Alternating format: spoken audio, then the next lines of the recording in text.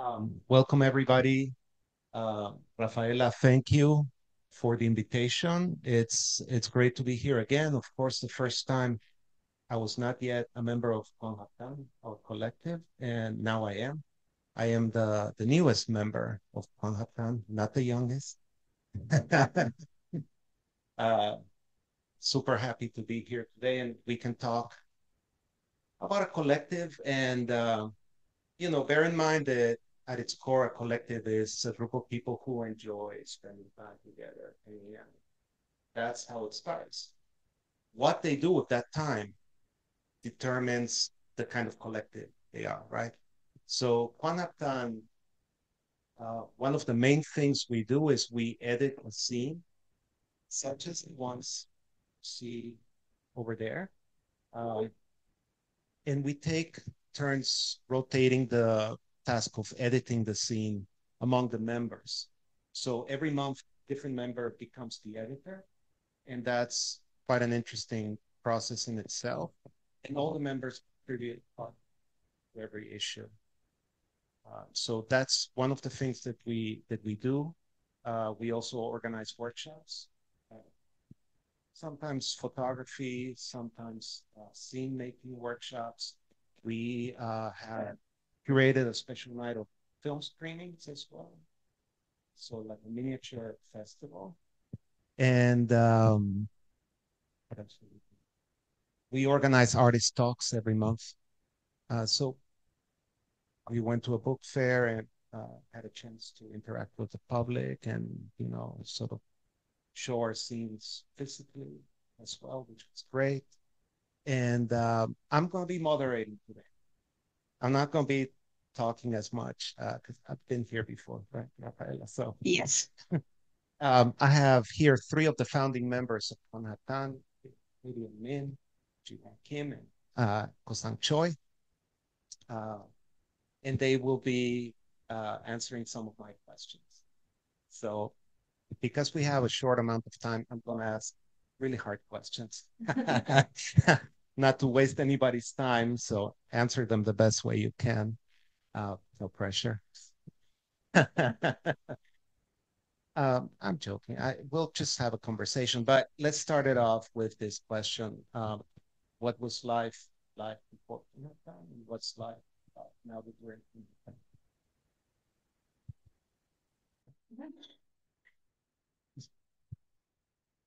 Um, I've lived in New York for 22 years and I decided to come back to Korea two and a half years ago. Um, I thought it was kind of weird when I meet my uh, photographers in Korea. I asked them, okay, what's what's good? What's what, where is the good exhibitions now? And like, how do you make this work? And they are they were being kind of secret and not to tell me everything. And later on, I assume that it is since it is very small community, and when someone say something is good or something is like giving a compliment, can be seen as a political. Uh, it can it can it can be read as a political relationship and I was uh I was kind of uh I didn't like it and I want to share my idea. I want to share my thoughts and I want to tell, okay, oh this show is super nice and you gotta watch it. You gotta see it. And I met Young and Okyeon, who's not uh, who didn't come today. And we've been a good friend for like many years. And we all came back to Korea in past few years, and we know that we're gonna hang out regularly. And then we decide that okay, let's uh, meet once in a month and share the idea, share what's going on, and catch up each other, um, so that we can really continue our own work positive ways so that that's that's how we um, start to uh, start the Gwanghapdan. But at the time, we did we don't know what to call us, and nobody called us an art collective. and I thought it's really important to have this kind of activity so that I can balance my life. You know, if I if I just focus on my own work for a long time, I I I want something to um uh I need events. I need to you know like when when I first got uh when I'm really interested into the art, it was fun. I liked, but when I really focus on my own work, I kind of get a sense that I lost the fun part. But when I play with them and I share the ideas with uh, my friends, then I find myself that okay, I'm starting to uh, finding a fun part again, so that it makes a really good balance between my personal work and this collective work, so that I can really push my artistic creativity even further than um, I could do by myself. And that's how, how I've been doing. Uh, I'm Jiwon Kim, and I'm the only um, member who spent uh, many times in uh, in Europe. I lived in uh, 13 years in Germany, and I went to the art school and um, I learned um, kind of a performance uh, installation, um, video, and, and photography um, at the end. And somehow I began to work uh, with photography uh, the most. But I haven't had friends uh, who makes uh, photography uh, like me. So I I in Europe I almost I was almost like Einzelgänger. So it's kind of uh, working and doing all things alone, like one man band. And after COVID, I uh, came back to Korea and I met this friend. It, uh, so they asked me to join. So uh, I at the moment I had no plan to do in in Korean art scene. So why not? So I joined um. Now I have um, yeah good friends and who who can talk about work and know, share things, informations. So I feel very uh, to be a member of this community.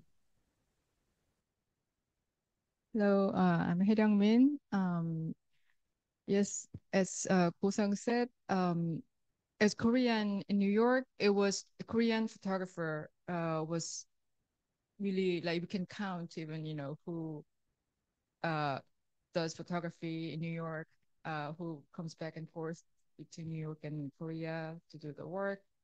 So we were the gang in there, kind of you know it was very casual and kind of uh, automatic setting, but uh, once we came here, we were still outsider, and I realized that um, we needed support.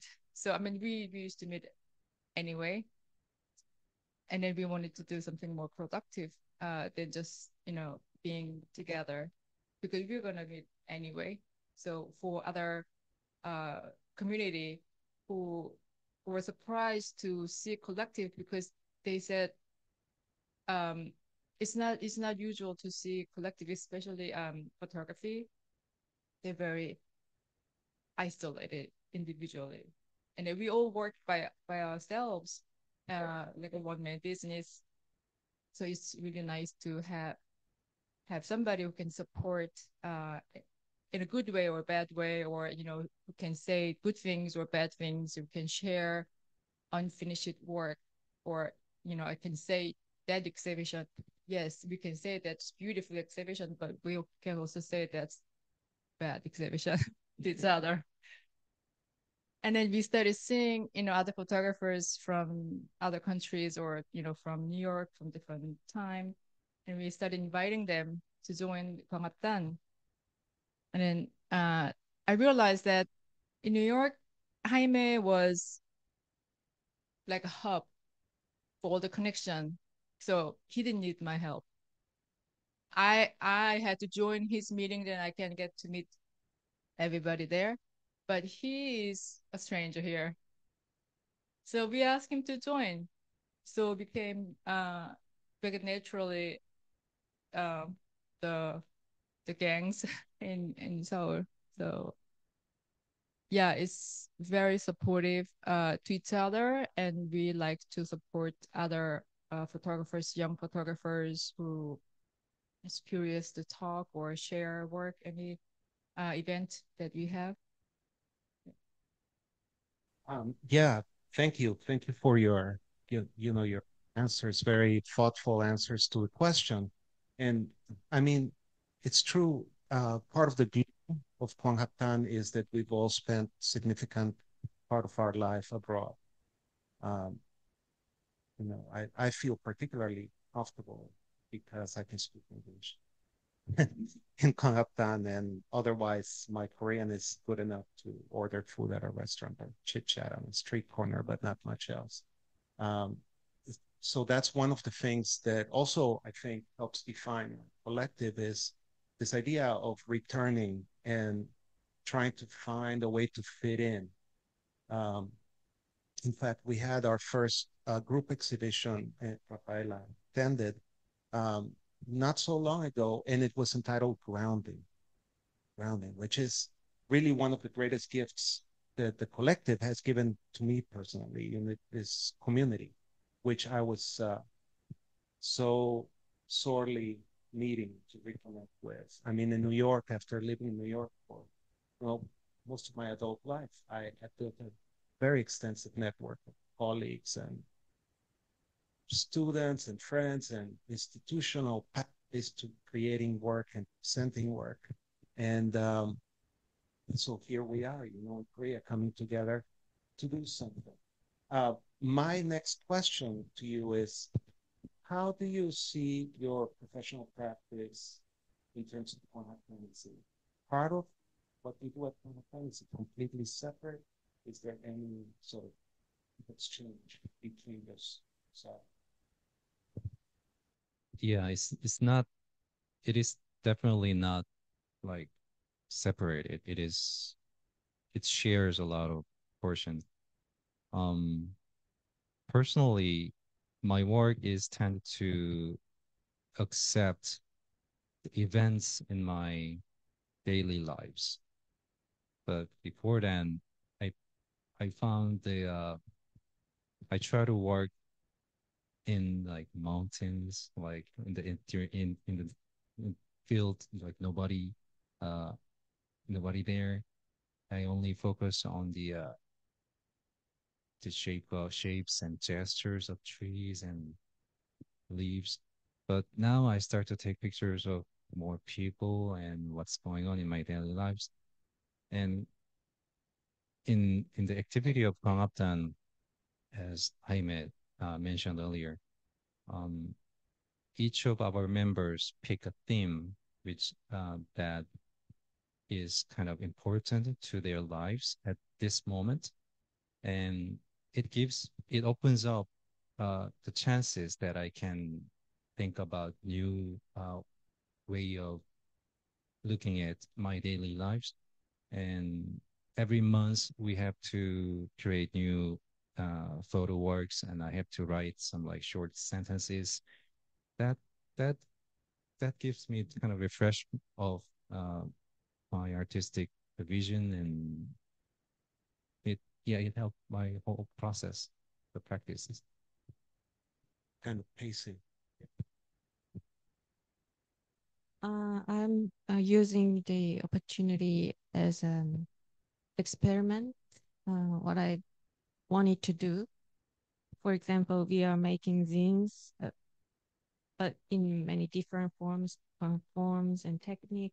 So I uh, use some different types of technique to make a zine or with the theme uh, uh, yeah, it's just whole uh, experiment and playful a, playful experiment uh that's so different. Um, the because we choose the the theme every month, and then we have to all the members have to submit some numbers of the photos and the text for the zine of the month. Uh, you know, for our own for my own project, um, there's more uh like intense um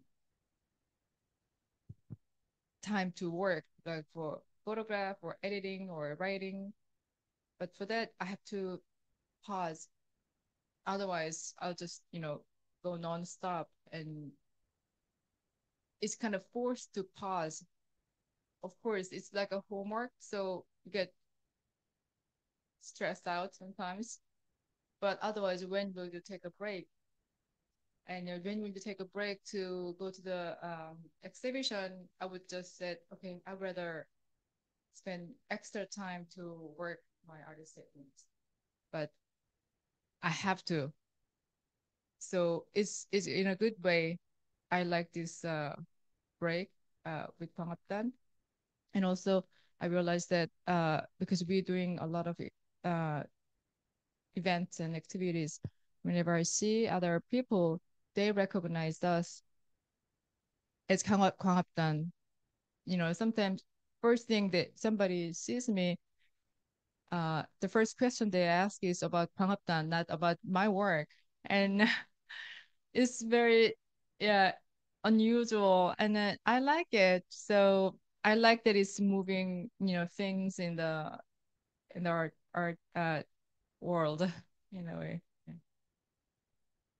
Um, before we go any further, actually, I, am sure there's people in the audience uh, wondering about the word itself, the title of the collective, Gwanghapdan. Um, can you speak to that, Hassan? Um, I think, I mean, we didn't have name in the beginning. I think we were searching for a really good name after a few months of uh, activities and by the time ChatGPT was like booming, so one of our member, Park Young, um, had, had a conversation with ChatGPT and it gave us list of uh, weird names, weird or cliches. And one of one of it is a Gwanghapdan, which is uh, if which I translated li- literally is a like photosynthesizing gang or the group of photosynth doing photosynthesizes. And we kind of liked it. You know we were doing photography and really there's a chemical reaction.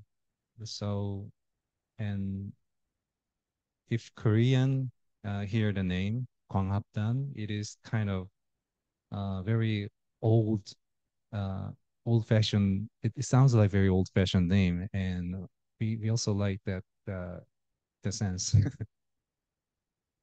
in in that name, I maybe I'm wrong because I don't understand the subtleties of Korean, uh, but it has a kind of happy tone to it or inviting to me, and and that's part of our collective as well. We reach out to other uh, artists to even other collectives um, to see what they're doing and could we, you know, like have some kind of bridge between ourselves and other people in the community, and that's that's part of what we enjoy doing. Um, and it's it's been a really short time, right? When when did the collective start? It's been two years. Two years, two years, and already things have changed. Um, for example, when I first joined the collective, um, there were a number of issues that had already been produced of the zines, but they had been produced internally as a just as a creative lab, as a playful way of extending artistic practice. And then there was a shift, and all of a sudden we decided, like, okay, uh, why don't we make a limited edition and then have it available? And that's different, right? When you're putting out a product and you're making an edition of 30, uh, or when you're going to book fairs to present the finished works, or um, uh, we got a, a letter from the Museum of Fine Arts Houston all of a sudden, and they they bought every every zine for their library. Um, and you know, we had to discuss that. So can we sell the zines that were not meant for sale or do we, you know, so things shift. Even in a short span of two years things shift. One of our members um, has recently become a monk. Yes. If you see a picture in the slideshow there's a a young man wearing the robes that's him. So you know our our graphic designer mingyu uh, became a, a monk recently and uh, we miss him like crazy but he still occasionally collaborates, right? even though even though he's in the monastery and shouldn't be doing this, you know, he still gives kind of um so you know a collective I think is an organic kind of entity that will keep evolving and shifting and changing over time. Um, and I was just wondering if any of you have a vision of if you think about five years from now, where do you see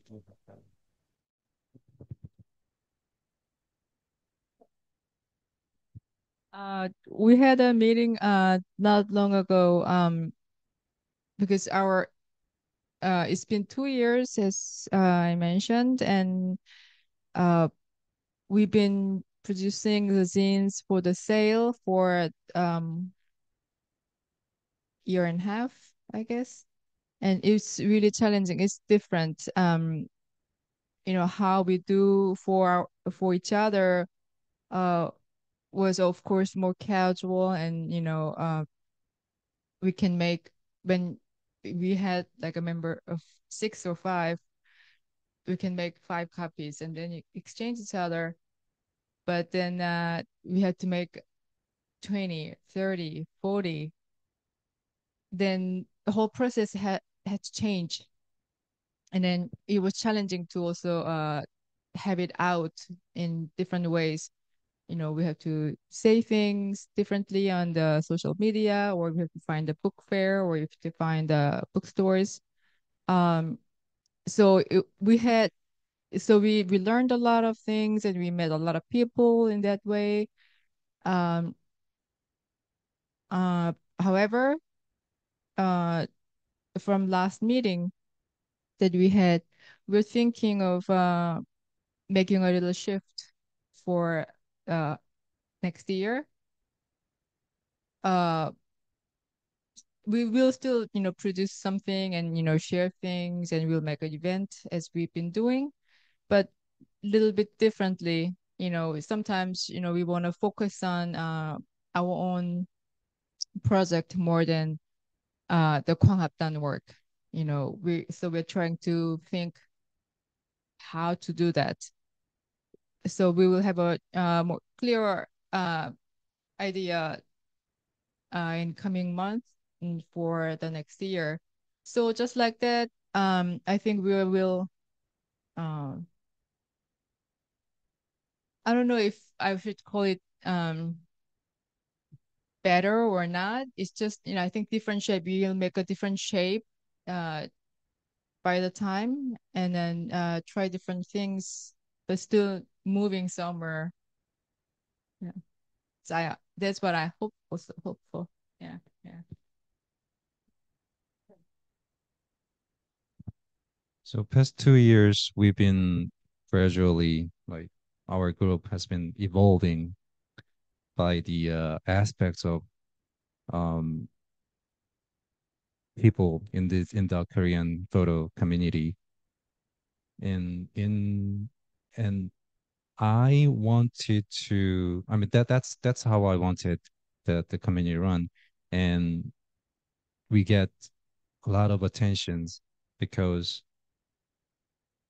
usually what we are doing is happens when they are 20s but in Korea, that there's no like such a collective doing what we are doing in their like 40s. 50s so that people think wow that's that's that's weird and we are making some like new type of model in korean community. And there are so many followers in college kids like that's that's how what they wanted to do but there was no no case no no role models doing in um in in the mid-career artist so i think we Gwanghapdan has a brand power and i think it is really important to build even stronger build it even stronger so that we can we all of each our member can get advantage of by the brand of Gwanghapdan at the end. That that that's what I am expecting.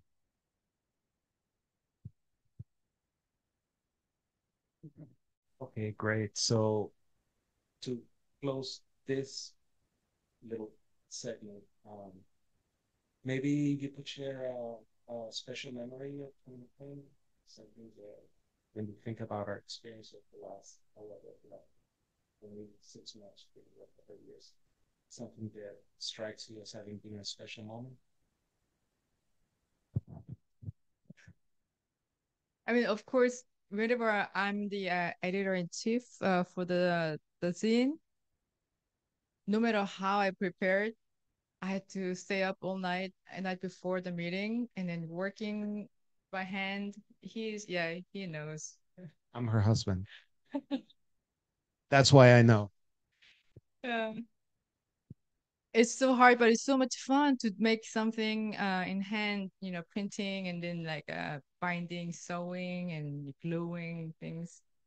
So I had uh, those memories, uh, but for myself, um, my best memory was uh, last December.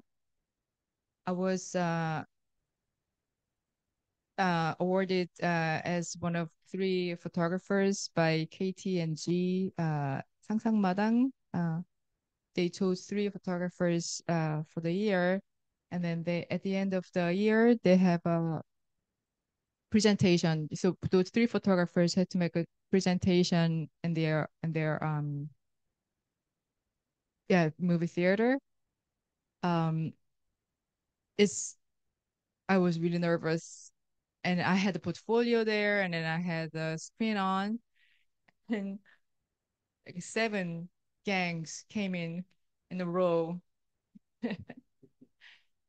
and they supported me so much, and they asked me great questions that uh, the presentation itself was not long, and then I had to do in the certain way. They asked me brilliant questions that I can express more about that work because they know my work so well. So that I felt like I was very um like a like a reach that I have everybody. I have I have the support in my back. So I really appreciated that. And this year, this coming year, she will be the presenter at Sangsang Madang. So we will support her.